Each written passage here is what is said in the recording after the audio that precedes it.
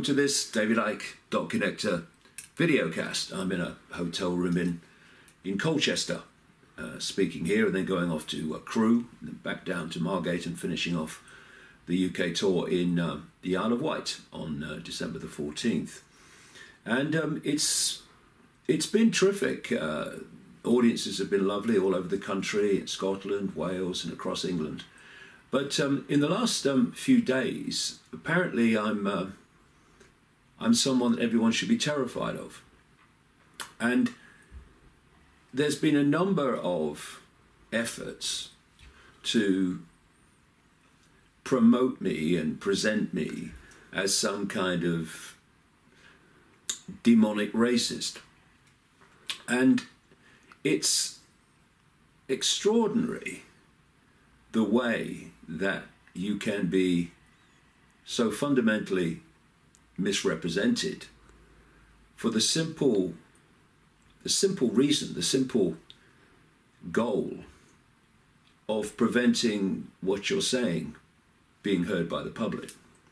And so um, I'm um, I'm someone that now people are being told to hate and told is horrible. I mean lovable me what? And it's so applicable, this quote from George Orwell In a time of universal deceit, telling the truth is a revolutionary act. And that's what it's become increasingly. Indeed, uh, telling the truth with the use of free speech is now the new evil, which mustn't be allowed. And you see, there is a, an agenda to create a situation demonstrably unfolding by the, by the day almost now, to create a situation where eventually no one will ever see any information in the public arena or hear any opinion that the system, the state, doesn't want you to hear or see. And we're moving closer and closer and closer towards that as this censorship goes into overdrive, into the stratosphere. Now, you know, people like Mandela and Gandhi, Martin Luther King, in their time, were also described as horrible people who should be hated and feared. And ironically, these people, Mandela, uh, Gandhi, Martin Luther King, were heroes of the so called left, the liberal left. And they were castigated, demonized, and the efforts were made to shut them up and silence them by the establishment, by the established order, by the established authority, by what people would call right wing authority and establishment. The greatest irony today is that what the establishment did to them, these once liberal heroes, is now being done to others by people who call themselves progressive, which is the new uh, buzz term for what is alleged to be the liberal left, but actually the progressive mindset as hijacked usurped and taken over the liberal left and the traditional left and has started to act ever more, not liberally, but fascistically. And so we have a situation today where these progressives, which came out of places like California and swept across America and now is in Europe and Britain more and more, are claiming to be the successors to the great civil rights movement of the 60s and others, when they are acting in exactly the same way that the civil rights movement emerged to challenge from the establishment of the day. And so we have gone through an extraordinary inversion and hijack of what was called the former left. And it has been taken over by a mentality that calls itself anti fascist while using all the propaganda and freedom suppressing techniques that we see with fascists and other um, tyrannies. And to a large part, I say that this transformation from a liberal left to a pseudo liberal fascistic left has been done overwhelmingly thanks to the money handed out by the billionaire George Soros, who has spoken publicly about the fact that he does not take into account social consequences when he does his financial investment and targeting. Because, he says, I'm there to make money. And someone with that mentality, that attitude, what I would call callous attitude, is handing out literally tens of billions of dollars to quote progressive groups and NGOs in the Americas and in Europe, particularly,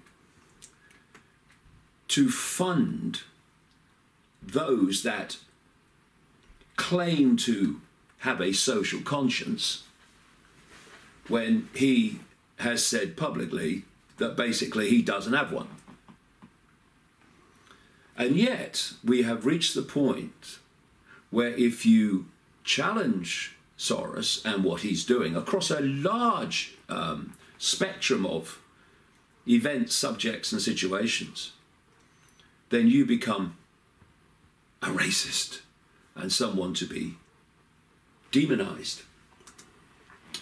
This is what the old left used to stand for, or said it stood for anyway. This is a quote by Noam Chomsky, again, one of the heroes of the traditional left, who said, If we do not believe in freedom of speech for those we despise, we do not believe in it at all. Because unless we believe in free speech for everyone, there is no freedom of speech. There is only the freedom, or the illusion of freedom, to conform to what is allowed to be said and what views are allowed to be had, and not to express your freedom of view and your freedom of speech if it goes out of those parameters. So there is no freedom of speech.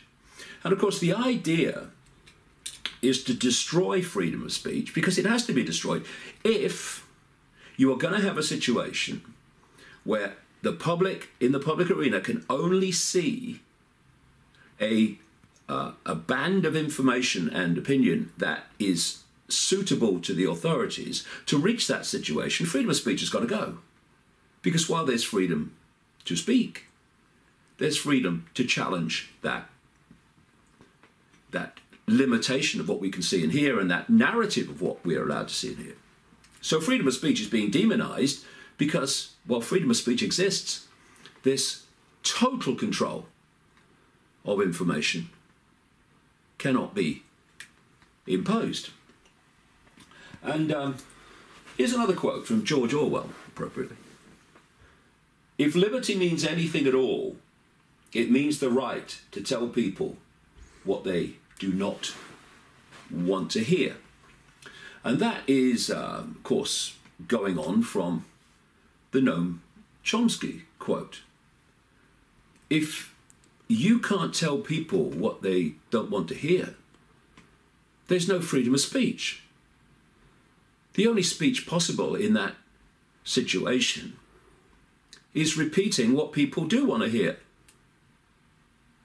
which is what's happening with this progressive, fascistic mob mentality, which says if we don't agree with what you're saying, not that they overwhelmingly ever try to find out the truth, then you shouldn't be allowed to say it. You should be banned. And this is how this this is how this process goes. This is how this I was going to say thought process, but I was being optimistic with thought process. But this is how this this sequence goes in the minds of these people. I am right. That's what they say. I am right, and therefore anyone who disagrees with me must be wrong. And if they're wrong, why should they have freedom of speech to be wrong? This is the actual mentality that you see in so many people. And uh, what has happened in the last seven days uh, is that I was going around the country and Scotland and Wales and lovely audiences and um, exchanging information, and then they decide what they um, what they think of it. That's the whole point. Um, and I was speaking in Watford, and then suddenly, uh, when I came to the Watford event, uh, there was an organisation that has basically hijacked a, a, chunk of the Labour Party called Momentum. Uh, basically, the Labour Party today, the opposition party in Britain, um, is uh, a uh, I wouldn't say a coalition, it's certainly not a coalition, but it's in two parts. You've got the Blairite Labour Party, which is really conservative, um, and um, Blair is actually an asset of the same web that controls Soros, ironically.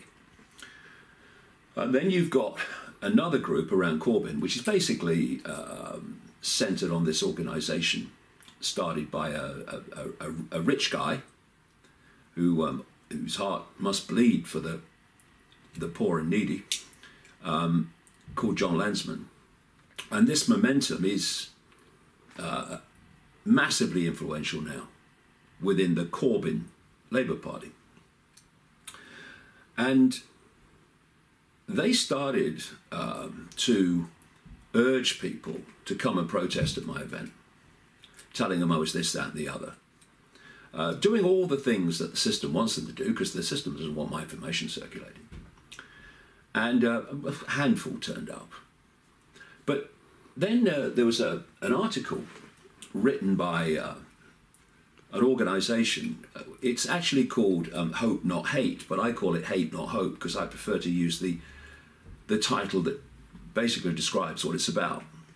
See, what you have with these um, anti hate groups is the irony of ironies again that they set out to get people to hate their targets. So they're actually hate groups.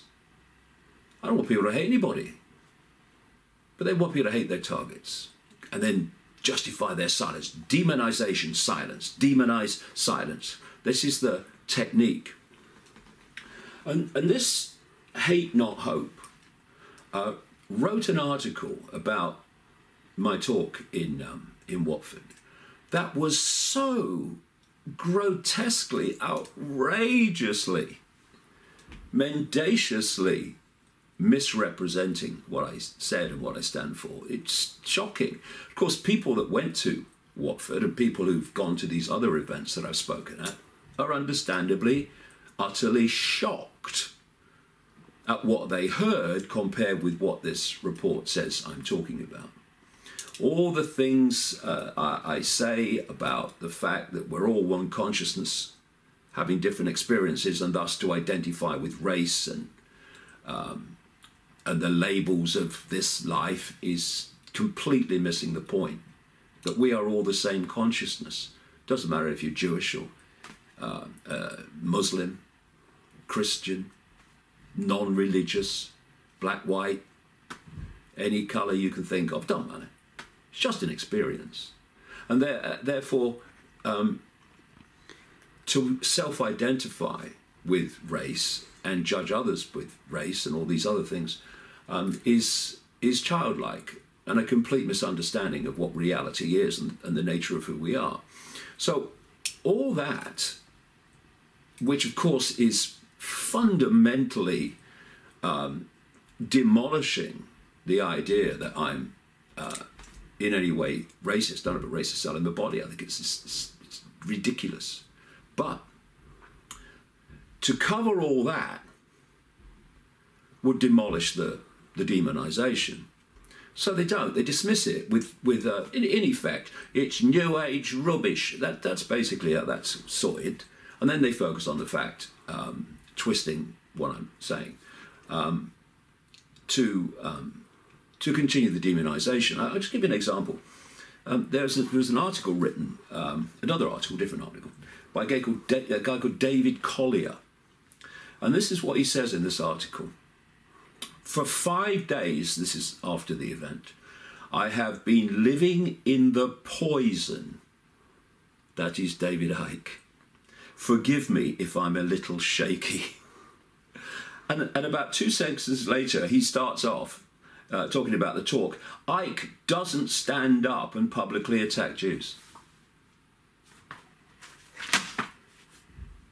Talk me through that one. But what they say is, you see, he doesn't publicly attack Jews, but when he talks about the hidden hand and the 1%, that's what he means. That's how they go about it. What about, what about all those people in the square in New York when we had the Occupy movement challenging Wall Street, they were talking about the 1%. Were they all racist talking about Jewish people? It's hysterical if it wasn't so tragic. And so we um, are in this bizarre situation where those who um, claim to come from the liberal left, who were people who in the past would have challenged the destruction of free speech are now demonizing people to bring about the end of free speech. And by the way, they're in alignment, this momentum, um, in terms of their attacks on me, with this um, organization, the Campaign Against Anti Semitism. I, I mean, the ironies just keep flowing. The Campaign Against Anti Semitism was one of the chief um, protagonists in um, demonizing the Labour Party leader Jeremy Corbyn as an anti Semite in an effort to pressure the Labour Party, and of course their backbone went, of course, always does, to accept a ludicrously broad definition of um, anti Semitism that includes the criticism of Israel, which is what it's all about. It's about stopping criticism of Israel, nothing to do with protecting Jewish people. And um, this campaign against anti Semitism is chaired by a man called Gideon Falter. Gideon Falter is a British board member of something called the Jewish National Fund. The Jewish National Fund, since the turn of the 20th century, has been buying up land in Palestine from donations from around the world. And once they own the land, only Jewish people and no one else can live on that land. Now, that by any criteria is real estate apartheid. Have any of these characters, Hate Not Hope and Momentum, ever protested outside a place where Gideon Falter was speaking? For any of these media interviews that give him softball questions every time he comes on and lambasts others for racism? Asked him, uh, Mr. Falter, is there like kind of contradiction here? No. Because this is, in its totality, most of these people have no idea, an effort to silence all challenge to the official narrative of everything. And so we come to this question the question that's always vital to ask who benefits? Who benefits from people like me being silenced? Well, who benefits? Only one group of people benefit, and that's anyone that doesn't want my information circulating about how the world is controlled by people, networks, secret societies that are not the people we see in the public arena. The fact that they're here today, gone tomorrow politicians, whether they're Trump, Theresa May, Macron, Merkel, are just that here today, gone tomorrow politicians. But behind, in the shadows, is a permanent government that's always there. That controls finance, that controls the military, that controls the intelligence networks, controls government administration, controls corporations, controls the banking system.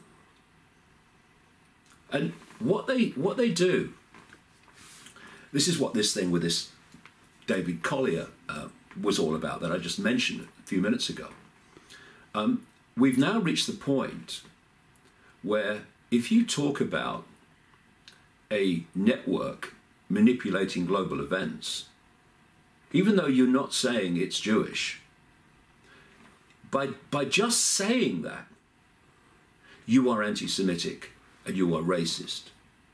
So, this has been manipulated to the point where just suggesting that the official story of how things come about in the world is not true, and actually there's a global network that's pushing the world in a particular direction, blatantly obvious, then that's racist. And you know what that is? That's a grotesque abuse of racism and an abuse of those you are exploiting by saying it's to stop racism against these people, when actually what it is, is to stop the free flow of information for people to see and hear another version of how the world is run and controlled. And um, who benefits? And if that's who benefits, well, we've got a choice, and it's probably a mixture of the two. Either the people trying to silence people like me are just arrogant people that think only their view um, matters, or they can be completely stupid people who are waving away the truth and calling it racism. And there'll be many people like that. They will. Um, but at the core of the core, this campaign of demonization against people with a different view of the world is coldly calculated to bring about the situation where only what authority wants you to see and hear do you ever see and hear. And, you know, I'll put this little me on here. Um, it's kind of surreal sometimes. Nearly 30 years ago, and for many years after that, many years after that, I was the resident nutter, apparently. Um, I was ridiculed to historic levels, and I was a madman. And so um, that was the the way of dismissing me and demonizing me. Uh, oh, don't listen to him. He's he's mad. He is. And then I went through a period where basically I was ignored. Well, ignored in the mainstream, but not uh, by people with a mind of their own who actually bothered to find out what I was saying. And then suddenly, out of nowhere, um, I'm now the bad guy. Um, and I'm dangerous. Um, I mean, I'm dangerous. I'm part of no organisation, no political movement. I mean, you're looking at it. But somehow, I'm dangerous. I must be demonized. Condemn him. What they're terrified of is what I'm saying. And even more terrified of is that people who've got a mind of their own, like I say, and have actually looked what I'm saying, are listening and realizing it makes far more sense than what we're being told from the establishment sources. And by establishment sources, I include the political right, with exceptions, the political centre, and the political left, with exceptions. So, um, is it true? Is there any truth in it? Because if there's a fraction of truth in what I'm saying, then we are in a very different world to the one people think they live in. But this is how it works. It's a conspiracy theory. You know what? One of these, these articles this week was basically indicating when they must stop the circulation of conspiracy theories. Well, first of all, where did the term conspiracy theory and conspiracy theories come from? It came from the CIA in the 60s, who contacted major media urging them to use those terms as a term of derision and discrediting of those who had refused to accept that President Kennedy, who was shot in the forehead, clearly from the Zapruder film taken by an onlooker, was clearly shot in the forehead, but the bullet that shot him, according to the official story, came from behind. What did he do? U turns. That's where conspiracy theory and conspiracy theories come from, and, and, and, and these terms. And now they're being used by the media all these years later. There's no idea where they started out. And by people like this, no idea where they started out. And they're used as terms of discrediting people. You look at the dictionary definition of a conspiracy, and it's two or more people conspiring together to bring about a particular end, usually illegal, and certainly unpleasant most of the time. And that's all conspiracies are. But because there are conspiracies, the very term conspiracy has to be demonized to push people away from actually looking at the evidence that it's there. But the question of is it true is not asked. Just by definition, it can't be true. And if you're saying, you see, keep coming back to this central theme, that we must stop the circulation of conspiracy theories, which is what?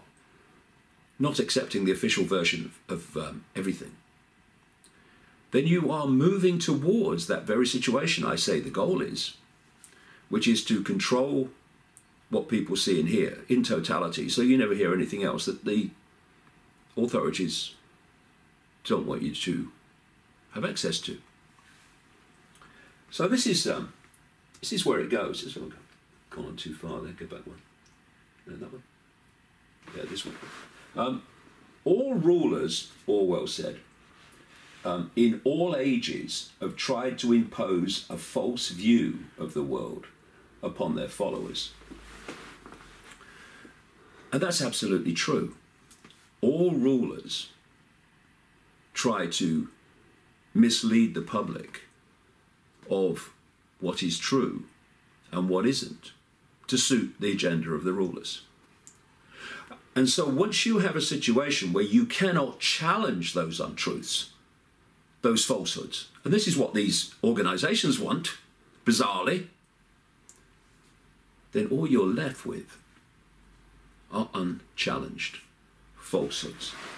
And uh, this is um, Adolf Hitler. And um, this quote encapsulates it all, really.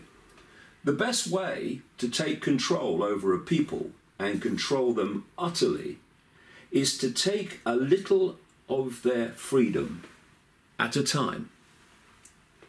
To erode rights by a thousand tiny and almost imperceptibly uh, reductions. In this way, the people will not see those rights and freedoms being removed until past the point at which these changes cannot be reversed. That is what is happening, although it's reached a point now where it's getting so fast that anyone with a brain on active duty can see it. Which then brings us back here. This progressive mentality calls itself anti fascist while using the very techniques that fascist and Stalinist and tyrannical regimes the world over use, which is to silence all criticism, all exposure, all information that would give people a different view, a different version of what's going on, as opposed to the one the authorities want us to believe. That's how tyrannies work, all of them. And here we have the anti establishment, anti fascist mob using exactly the same techniques while perceiving itself in its self deceit as the liberal left. And those genuine people on the left, and there are still some, must be aghast at what is happening around them and how the values of the movement that they stood for and still stand for have been usurped by the fascistic mob consumed by its own narcissism. This is um, these two dictionary definitions of progressive and liberal. Uh, progressive, favouring or advocating progress, change, improvement, or reform, as opposed to wishing to maintain things as they are, especially in political matters. Now, on that basis, the Nazis could have claimed to be progressive on that definition. The dictionary definition, not the political definition, the dictionary definition of liberal is ooh, just a little bit different. It is something and someone that is favourable to or in accord with concepts of maximum individual freedom possible, especially as guaranteed by law and secured um, by governmental protection of civil liberties favouring or permitting freedom of action, especially with respect to matters of personal belief or expression. And that definition of liberal, which I absolutely share, is what is being deleted by this progressive, fascistic mob mentality. I remember in the 60s when masses of students at Berkeley University in California went on marches demanding freedom of speech. Now they go on protests demanding it's taken away and deleted. This is what I mean by the hijacking of the liberal left by this progressive fascistic mob mentality. And so much of it has been done by the tens of billions of Soros money, a person that is said to be off limits for criticism by these people. This is an image of Berkeley today, where the debate comes down to you say something different from me, therefore you are a Nazi, a fascist, and a bigot, which is possibly the most blatant example of projection you'll ever see. It's like um, Joseph Goebbels, the Nazi propaganda minister, used to say, part of his propaganda techniques, accuse the other side, basically, of that which you are guilty. And we see that um, all the time. And so fascism always works best when it calls itself anti fascist. It calls itself anti fascist to hide its fascism. And so we have these groups like uh, they call themselves Antifa, Antifa, whatever, who set out violently to um, destroy freedom of speech. And they scream anti hate with hatred all over their faces. You ever seen them? The anti hate haters, I call them. Again, the inversion.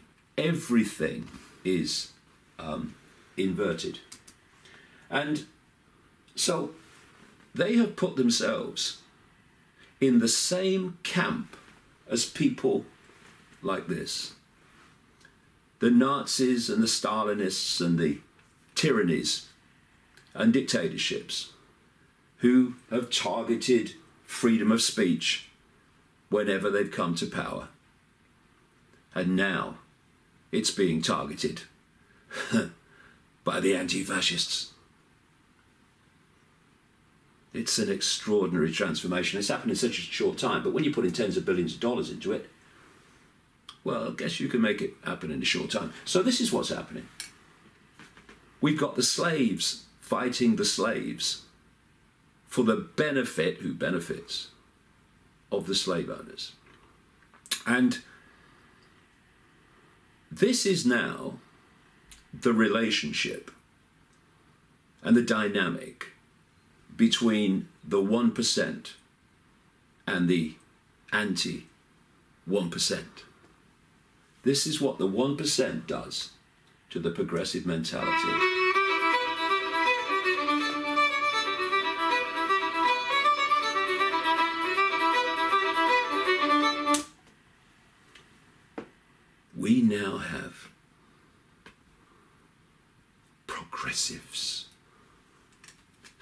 Pseudo fake liberal left defending billionaires from criticism, defending major corporations, cheering them even when they delete the free speech with these internet giants like Google and Facebook. Uh, yeah, right. Cheering them when they take away freedom of speech from people they don't agree with. But of course, they are naive enough, because you have to have terminal naivety to do this. They're naive enough to believe that it's going to end there. No, no. They will be in the they will be in the gun sights eventually. But why aren't they now? It's an interesting question. Why are people like me being targeted for deletion of freedom of speech, but not the anti establishment progressives? Why? Because they're doing exactly, for now, what the establishment want, and thus they're not going to censor them, are they? The genuine left, the genuine left, what, what, what, what remains of the genuine left, they're the ones who are censored, not the progressive left. And there is a quite a simple way to see why. And this is a um, a story from a study. It was in mainstream newspapers the last few days. That um, sixty percent of the British people in this study poll believed in one or more, quote, conspiracy theories. Which means what? They don't believe what the government's telling them. They don't believe what the media's telling them. Oh, how radical. Because it's blatantly obvious to them, because they have intelligence to, to look at it with their own minds it's blatantly obvious to them that the media lie to us and governments and authorities lie to us. And this figure, 60%, of course, is massively greater than it would have been before because something's happening. People are uh, breaking out of the stranglehold, the perceptual strangleholds that um, so many generations fell for of believing the official story of everything. They're now starting increasingly to question it. And when you question it, then the whole thing unravels and you see it's a nonsense most of the time. And um, there was a there was a story in the Guardian um, this week about how I've uh, united all the factions of Labour, uh, you know, about anti-Semitism. I mean, oh, the Guardian, the, the the the newspaper bible of the anti-establishment quote establishment, the radical Guardian I've seen more radical jars of marmalade personally. And what they were saying was in, they were talking about this conspiracy, these conspiracy theories that people believe now. And they said, uh, and it's it's it seems that people that um, believe in conspiracy theories, they're also in favour of Brexit and Trump.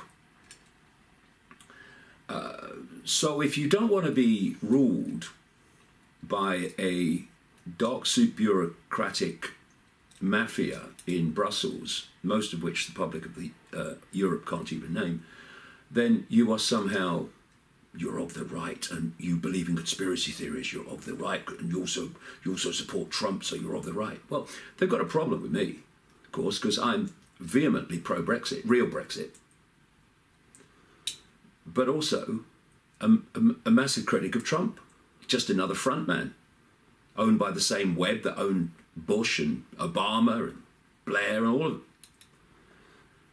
So I'm not sure they'll be able to compute that.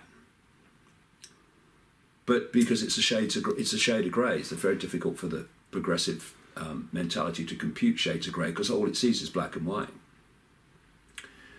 But what this is showing, this poll, is something that I've seen all around the world more and more and more as I've travelled since 2016 there is a wake up coming and happening uh, of people. And, you know, when I was reading some of these articles this week, people that were at Watford, where they've, um, they're looking at the audience. I'm sure when they turned up, they expected to see far right people. Oh, yeah, far right. What did they find? I had to admit they found an entire spectrum of human age, background, culture, from young to old, all these different areas of life and walks of life, all in the audience in large numbers. Are they all racists? Progressive mentality? Eh? Are they all bigots and Nazis? Or is the or is the common denominator between them simply a mind of their own? Questioning rather than absorbing someone else's version of reality. And this is what they ask is it true? They don't just dismiss it because it's different to the norm. And that's what happens when you have a mind of your own and the ability to think for yourself. And this is where the progressive left is. This is where all politics are, are, right, centre, far right, far left, doesn't matter. They're all in this situation. Yesterday's people, yesterday's papers telling yesterday's news. Same old, same old, tired and predictable. Same way of looking at the world, left and right. And they're being left behind by a gathering awakening of people who are looking beyond that. Stunningly myopic way of looking at the world and everything. And there is a wake up happening. It's not a wake up happening in this group or that group or that group or this party or that party or whatever. It's an awakening happening among the great totality of human, uh, the human family from endless backgrounds. And like I say, the common denominator of it is people who are beginning to take control of their minds back, take control of their perceptions back, and look at the world in a different way and see if it stands up. And they're finding it does massively compared with the nonsense they've been given up to this point. While the mentality that's trying to silence me is going deeper and deeper and deeper to sleep. And the more they the more they are sucked into their slumber, the easier they become for those that are inducing the slumber to give it that. And how appropriate this is a quote by Gandhi. He said, First they ignore you, then they laugh at you, then they fight you, then you win. And of course, I was laughed at in almost historic terms. Then, for a period, like I say, I was ignored by the mainstream. And now it seems they want to fight me. But they can't fight me because it takes two to fight, and I'm not interested. The information itself will speak for itself. And um, so, first they ignore you, then they laugh at you, then they fight you, which is wonderful news because it means there's only one stage left.